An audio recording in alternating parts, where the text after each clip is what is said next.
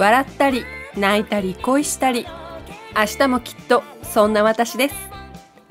甘酸っぱい青春の香り漂うもみーゆりなの魅力が詰まったファーストアルバムが音も装いも新しくなってメジャーリリース。空色日記ただいま予約受付中。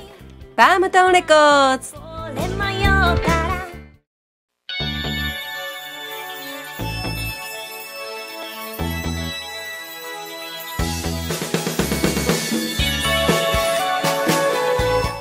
局独断ベスト10布施明編パート1さてこの時間はですね、えー歌謡曲独断ベスト10ということで私布施明あ何を言ってんねん。私斉田正樹が、えー一人のアーティストにスポットを当ててそのアーティストのディスコグラフィーの中からね、えーシングルの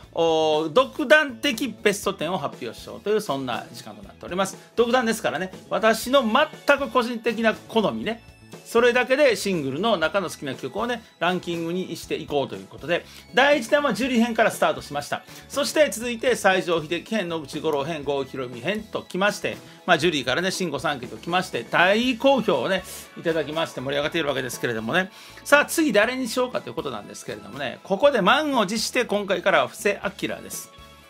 まああのまあ最初これ1回目なんでねちょっとお話ししたいと思うんですけれどもね個人的な話として僕がものすごく布施明のファンなんですよ。えー小学校の3年生の頃からのファンでして、まあ、これ後ほどの曲が出てきた時に語っていきたいと思うんですけれどもあのあ言うとこかなあの積み木の部屋という曲がね3年生ぐらいのとこ流行ったんですけどあれがすごく好きで、えーでまあたまたまその時その僕の親戚のおじさんね当時多分おじさんって言っても多分まあ30なるかならんかぐらいだと思うんですよ、まあ、全然若かって若くて。でその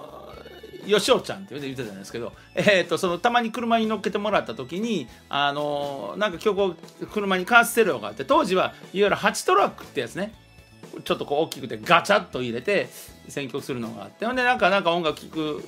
聞きたいのあるかみたいな感じで聞いてくれて。で布施明があって。ほんでその僕は積み木の部屋が好きだったのであこれ聞きたいって言って。でそのまま布施明あのその積み木の部屋が聞き聞きながらなんかベストななんかカセットみたいなやつなんで続けて流れるわけですよね。でそれをずっと載せ載せてもらうためにそれを聞いててでだんだん好きになっていってっていうところからスタートしてでまあ翌年ねしがらみの香りでレコード大賞を取ってうんぬんかんぬんがまあずっとあるわけですよ。ねなんかこうねあのーなんか気がついたらもうお小遣いもらったら布施明のシングルを買うみたいなことがあってでそのギターを習い始めたりするのもその布施明の影響がすごく強くってで当然ねそのフォークソングとかロニューミュージックとかロックとか聞くんですけどまあベースにはこうななぜかずっと僕の中に布施明があるわけですよね。で歌謡曲聴く時もそうで。なのでちょっと思い入れがなんか違うんですよね。なのであの布施明編に関して言うと25位からスタートするというね。ジュリーは20から20位からスタートしたんですけれどもだからそれはちょっと僕がその個人的にちょっとそのなんか思い入れがあるということでね。だからあの布施さんのファンの方からするとなんかだからあの多分ねその僕同世代で布施明のファンに出会ったことはないんですよ。だから相当変わってるんだと思うんですよね。うんでもまああの結果的にねそのやっぱりこうあのこうまあ息の長当たり前ですけど息の長い歌手として今再評価もされておりましてえちゃんとねここであの布施明といううなんで不正室のねシンガーのその足跡をたどるという意味でちょちょっと語っていきたいなということでまああのもうたくさんあるそれはびっくりするぐらいねたくさんあるんですからシングルだけでも。でそれらをちょっと中から、まあ、とりあえず25曲をセレクトしまして語っていきたいなと思います。第1弾の今回は25位から21位というね、まあ、中途半端なランキングですよ。まあね、えでまあ、そこをねちょっと今日語っていきたいと思いますので早速始めていきましょう、えー私サイザー正樹が選ぶ布施明のシングル独断ベスト10全く個人的な好みですからね、はい。えー世代が違うとねいろいろとこうまた選ばれる曲も違うと思うんですけれども。そんな私が選びました。まずは25位からいきましょう。25位はこのナンバーです。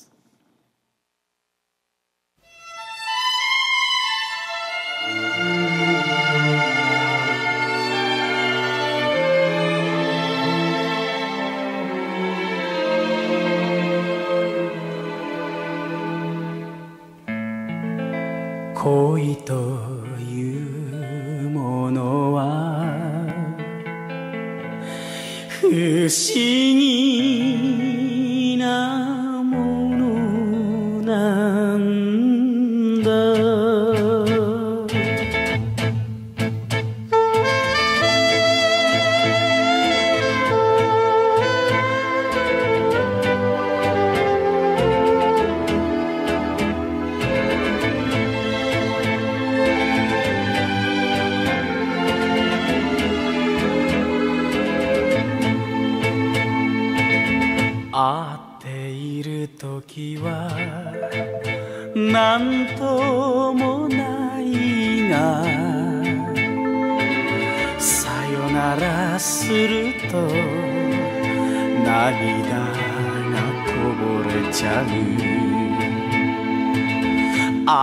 たびに嬉しくて会えばまた切なくて会えなけりゃ悲しくて会わずにいられない。それというのも君のためだよ。胸も恋に震えてる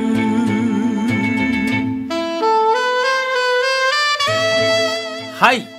恋です1967年3月1日リリースということですね。えー、布施さんにとっても、布施さんのね、あの、キャリア長くてね、デビューが65年なんですよね。そしてこちらが67年ということで、えっと、1、2、3、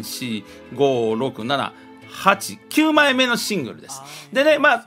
この当時、布施さん二十歳の歌声なんですよ、これね。で、作詞作曲が平尾正明さん大先生ですよね。なんといっても、まあ、あの、布施さんにとっても平平尾正明は大恩人でありますし、多分布施、平尾さんにとっても布施さんという存在はすごい大きかったと思うんですよね。まあ、ファンの皆さんご存知と思いますが、えー、平尾正明さんといえば10歳ね、差があるんですけど、まあ、ロカビリー歌手として人気がありながら、まあ、病気でね、その、療養することになって、まあ、歌手の道は、まあ、諦めようと。で、作曲家として生きていこうということで曲を作り始めて、で、霧の間修子がね、布施明のために10歳年下の布施明のために書いた「霧の間修子」という曲が大ヒットしてでまあそれ第2弾みたいな感じなんですよねだからその平尾さんにとってはまあその自分のやりたかったこと歌いたかった曲をもしかしたら布施さんに投影していたのかなということで。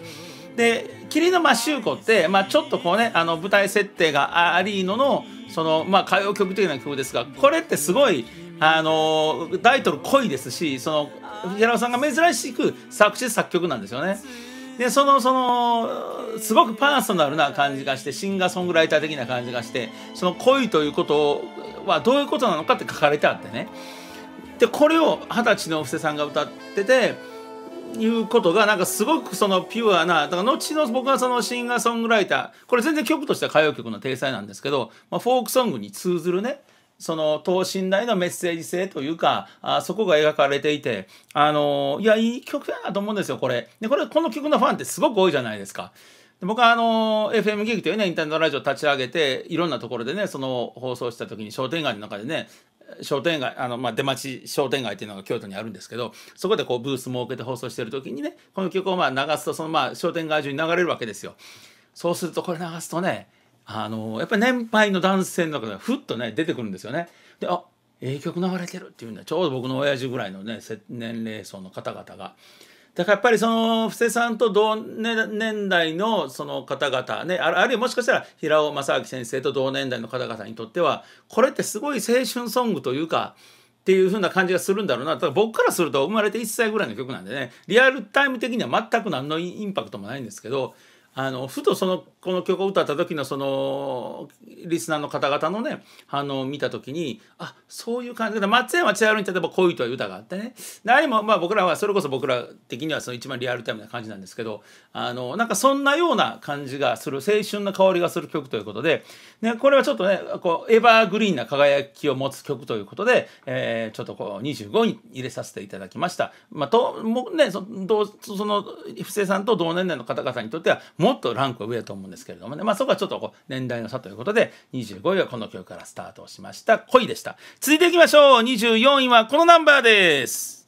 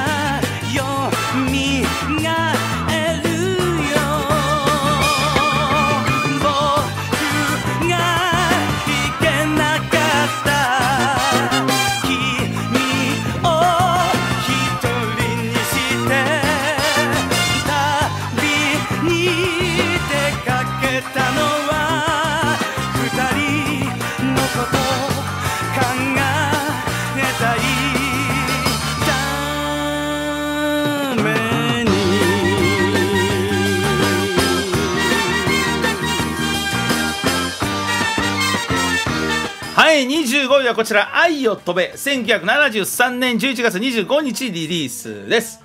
どうでしょうね。あのーまあ時系列的なことを言いますとですねこの1個前が「甘い十字架」という曲ででこの「甘い十字架」と「愛を飛べ」は割とセットになっててどういうことかというと作詞安井和美作曲加瀬邦彦というねラインナップなんですけどこの安井和美加瀬邦彦ってジュリーのまあ言うたらそのチームなわけですよ。ちょうどその危険な2人とかなんかあの辺りの、えージュリーがソロデビューをした70年代前半ですよね。だから同じ時期ですよね大体。だからそのジュリーのチームがわあの布施明のために曲を書いたということで甘い十字架愛をだから甘い十字架と愛を飛べてだからふっと思い浮かべた時にあジュリーが歌っててもいいかなっていう感じですよ。でそういうところをちょっとこう布施さんもそのこうまあジュリーと布施さんでも布施さんの方が多分年上でねまああ兄貴分みたいなところがあるんですけどそういうのをちょっとこうね歌ってみたと感じがしててだからそのこう珍しくこの70年代前半のシングルの中で言うとあのポップでというかあのアッパーな歌謡曲ソングという感じがしてねめちゃめちゃキャッチーですよね。だ当時これ奈良さんが僕そんな記憶はないんですけどどこまでこれがその売れたのかとかあのがあんまり印象はないんですけれども後追いで聞いた時に全然あの熱い曲やーという感じがするんですよね。はいだからこれがでただねこの曲のシングルジャケットのジャケットがまああの今一つっていうところがあってちょっとマイナスポイントになるんですけどあの曲的にはすごくそのあのえーまあライバルかどうかわかんないんですけどジュリーが歌ってても良さそうな曲をこう布施明が歌っていたというね。においてその語られるべき曲ではないかということでもっとこれは再評価されてる。僕まあこういう曲が好きなんですけれどもね。こうジュリーめっちゃジュリーっぽいじゃないですか。はい。ということで、えー、24位は「愛を飛べ」でした。続いていきましょう。23位に行きましょう。次はこんな曲です。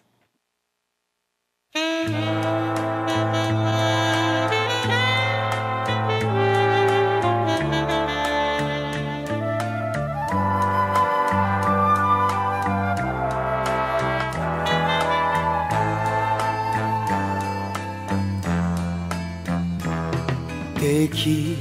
るなら時を元に戻して二人の愛の日々あなたと帰りたいけれどもう今では遅い。粉雪舞う停車場愛の終わり迎えたのさ。あなたは行く遠い街に僕を残して消えてゆく。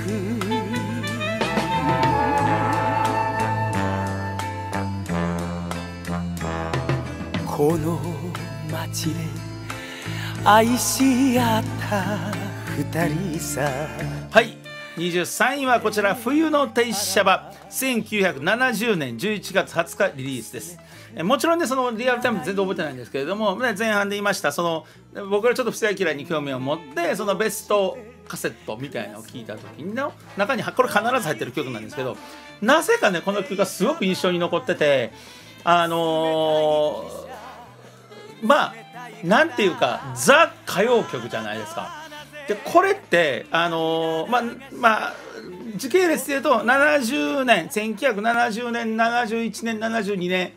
ぐらいまでのその歌謡曲でなんていうのかなその例えば奥丸千代の終着終着駅か。えーじゃないですけどああいうなんかもう本当にその絶望的な別れの風景を歌ってる感じね絶唱系のでこれって本当に布施明にしか成立しない。だから布施明のプロトタイプのイメージはここにあると。そのドラマチックなそのまあシャンソンっぽいのかな。感じですよね。ちょっとこうサックスも入ってて。ムード歌謡にも近いけれどもあムード歌謡の割にはすごい熱唱してるというね。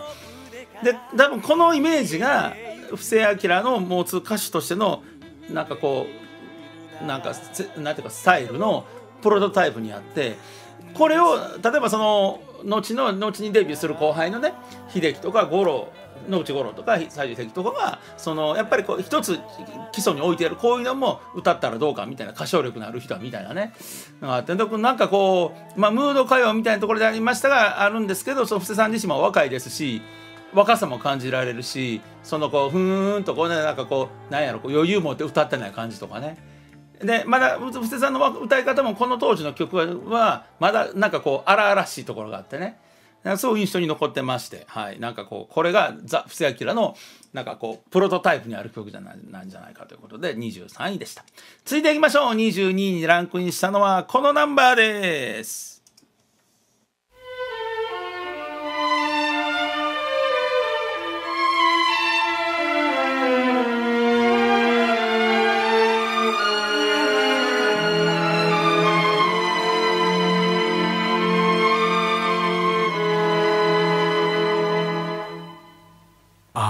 たと僕には愛の世界がある涙を吹き合う手と手があるバラの一枝も僕にはないけれど尽きぬ真心約束しよう。あなたにあなたに僕の心をあなたにあなたに捧げ尽くしたい。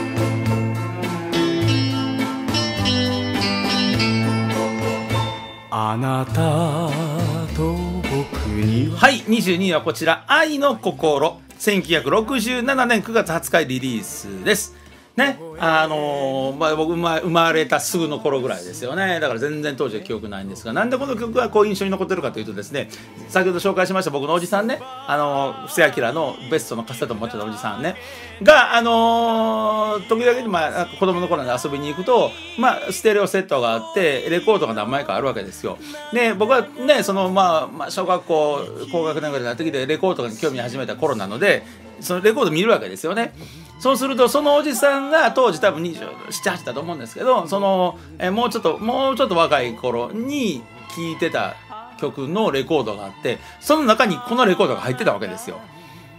でもう自分は結婚してこの家出るしもうこのあれあのあげるわって言って僕にもらってねもらったんですよいくつかレコードがねでこのシングルディスコグラフィーで見ると、その霧の間集子があって、先ほど紹介した恋があって、で、愛の心とかで、その後に愛の園とかってくるね。例えば、本当に霧の間集子恋、愛の園って、えー、布施明のその60年代のまあ代表曲じゃないですか。それじゃなくって、この愛の心のシングルがあったんですよね。へえーと思って。多分ベストにも入ってなかったんちゃうのかな。で、だから、で、もらったから、聞くわけですよ。で、聞くと、まあ、その当時からしても、そのちょっと古いアレンジで、なんかね、あの、ジャケットもその布施さんがまだね、こう、ピチッとこう短くて下負けしてしてる頃で、えー、古いレコードやなと思いながら聞いてたんですが、でもあの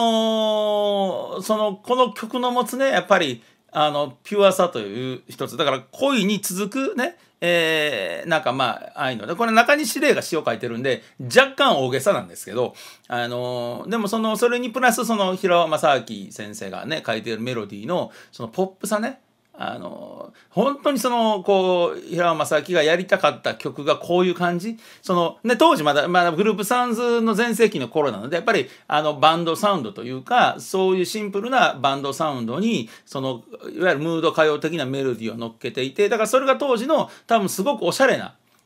ポップス j p o p のがこの曲にあるんだなと思って。でそのまだロックとかがないない頃なのでその例えば「愛」とか恋とかに対してこうなんていうかそのこう青春のメッセージで書くみたいなことがねまっすぐに書くっていうことがそんなにまだねあるかないかの頃で言うとそこをまっすぐに歌ってる感じがしてね。えー、でいやなんか聞けば聞くほどええ曲やなと思って。あのと思ってね。でちょっとこう思い出とともにちょっと22位入れさせていただきました。22位は愛の心でした。続いていきましょう。21位はこのナンバーです。愛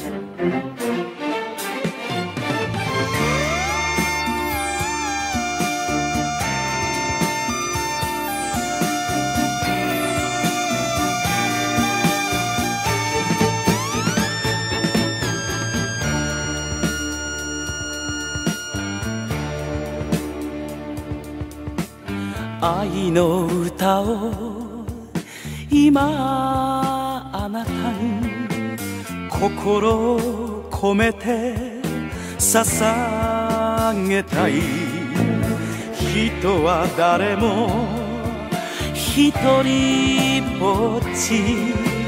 孤独に耐えて生きている。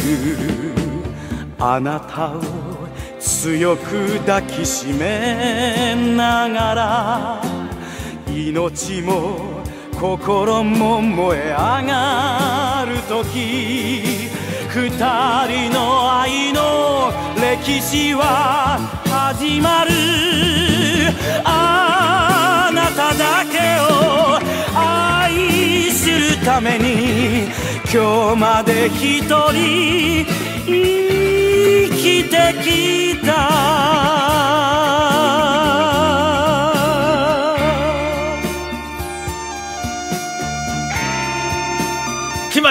瀬明愛を歌うということで愛の歌を今あなたに1974年9月25日リリースということですねまあこれって積み木の部屋の次の曲なんですよね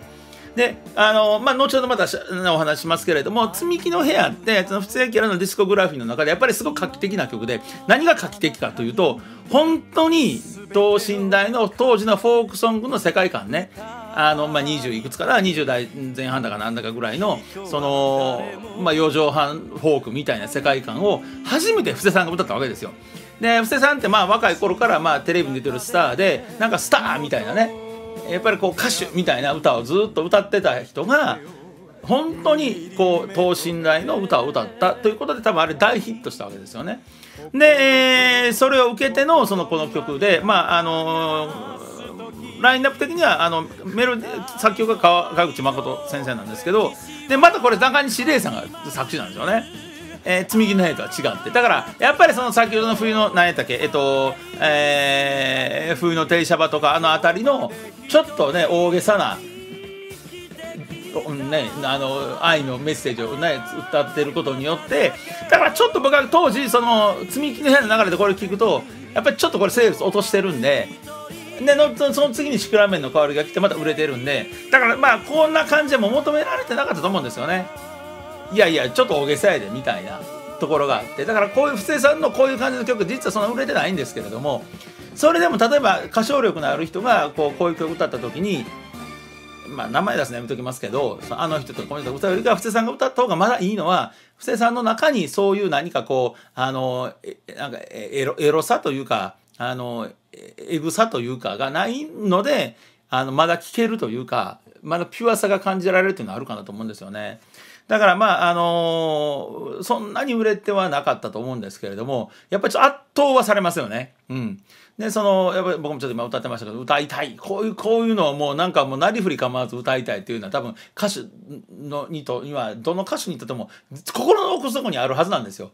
こういう曲をね。でそれをそのいろいろな人が例えばそののこう歌唱力で言うと言われる松崎しげるさんとか尾崎紀彦さんとかねいろんな方が言われる中で言うとやっぱ布施さんが歌った時にはなんかそこにまだねまだまだいくばくかのそのピュアさが感じられるみたいなあのですごくこれってこういうことでイタリアン的なラテン的な情熱的な曲ですけれどもそこにあるどこか見え隠れするそのね、えー、エロス優先的なところではない何かピュアさが布施さんにはあってだからこの曲もすごいなんかあいいなと思ってんですよね。うん、ということで、えー、まずは今回はまあじゃね、まあ、スタートということで25位から21を紹介しました。えー、ね割となんか渋い曲が並びましたけれどもねあのー、ちょっとそこはねあのファンの方々はそうやったなと思いながら。そしてねいや、えー、初めて聞いたなとい。う方もねまずこの辺の布施さんのプロトタイプのキャラクター設定というか歌手としてのその、えーと、持ちキャラというかはここなんだよっていうところからやっぱりスタートしたいなと思いまして、えー、今回ねこの25位から21を紹介してきました。で来週来週じゃないな来週明日か分かんないですけど次回からは、えー、これを基準にしてのそこから布施さんのねいろんな顔が見えていくとねそんな風に思っておりますのでまた続きを、えー、楽しみにしていただきましてあ面白かったなと思った方は高評価ボタンをそしてね。いやこれちょっと面白いもっと聞きたいなと思った方は忘れずチャンネル登録をよろしくお願いします。ということでした。